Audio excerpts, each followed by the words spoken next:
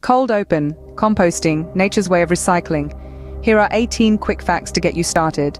1. Composting is the process of organic matter decomposition.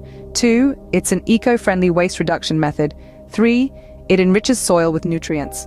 4. Composting reduces landfill waste. 5. It helps combat global warming. 6. Kitchen scraps are compostable. 7. So are yard waste and paper. 8. But avoid composting meat or dairy. 9.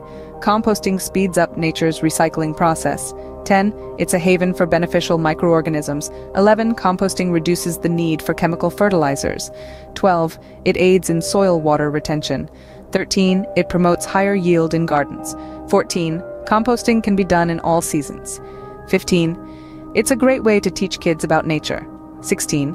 Composting improves soil structure.